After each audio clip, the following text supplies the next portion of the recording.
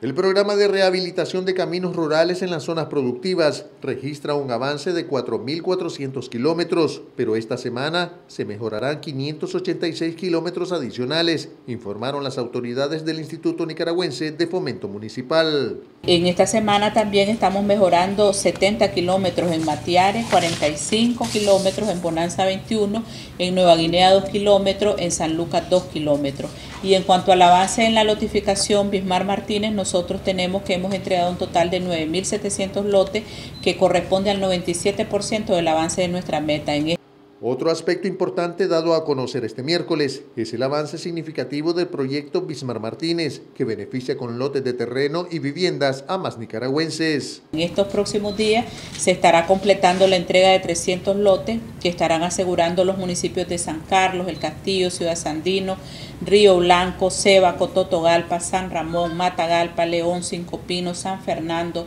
Nandasmo, Moyogalpa, San Pedro del Norte, El Rosario, Río Blanco y Somotillo. Con estos lotes se contabilizan desde el inicio del programa una más de 30 mil lotes que han sido entregados.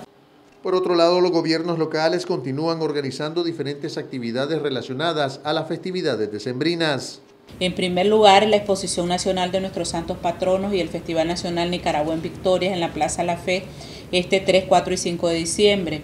Estamos en el quinta, la quinta edición de los Festivales de la Música Gastón Pérez, ¿verdad? El domingo 5 de diciembre se estará realizando en el Teatro José de la Cruz Mena en León. Y al departamento de Boaco le corresponde realizar este viernes el Festival Gastronómico Sabores de Diciembre, que se encuentra en la etapa departamental. Para TV Noticias, Román Rodríguez.